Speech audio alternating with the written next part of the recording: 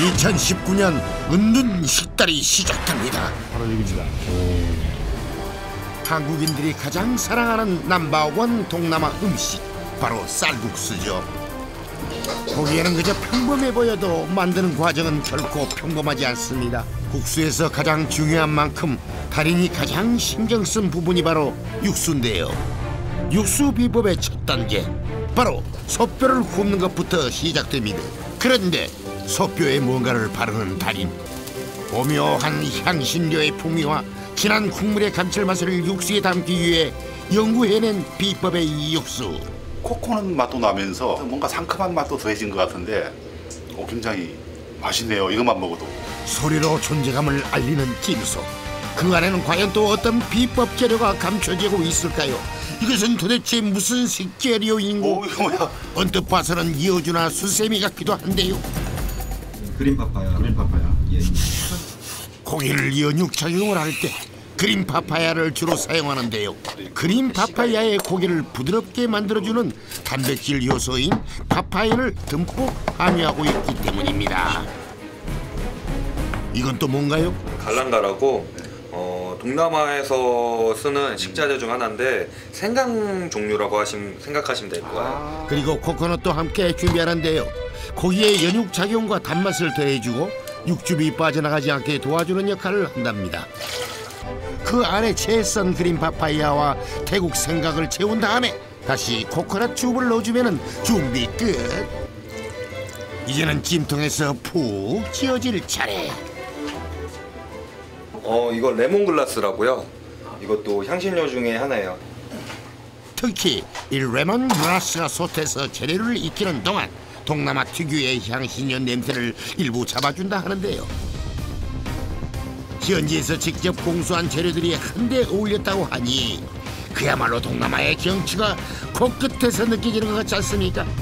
다음은 일명 이 동남아 에키스를 발라 소뼈를 구워줄 차례. 그냥도 맛있을 것 같은 구운 소뼈를 장량 12시간이나 우린다니 웬만한 육수는 여기서는 명함도 못 내밀겠습니다. 그런데 육수의 완성을 판가름하는 재료는 따로 있으니 소고기만으로는 감칠맛이 좀 부족해서 전 닭뼈를 좀 많이 넣는 편이에요. 바로 이 닭뼈와 향신료가 들어가면서 소뼈 육수의 감칠맛이 보완되고 개운한 맛을 살려준다는 것입니다. 이제는 닭뼈를 건져낼 순서인데요. 보통은 이대로 뼈를 버린 뒤에 육수를 쓰겠지만은 말캉해진 닭뼈에 물을 붓습니다. 미처 물에 우러나지 못한 닭뼈의 진액을 힘으로 뽑아낸다는 것.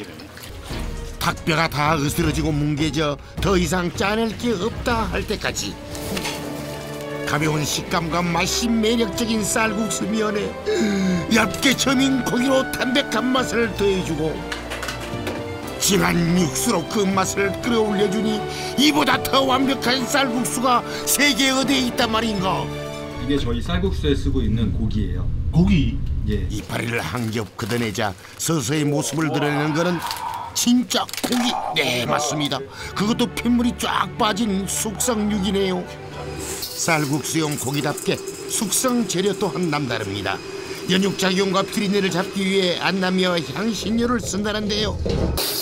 특히나 한번 볶아내면서 재료 자체에 남아있는 수분을 모두 날려버려 고기 숙성에 최적화된 안남녀의 상태가 된다는군요 재료도 다 준비됐겠다. 이제 숙성을 시켜야죠.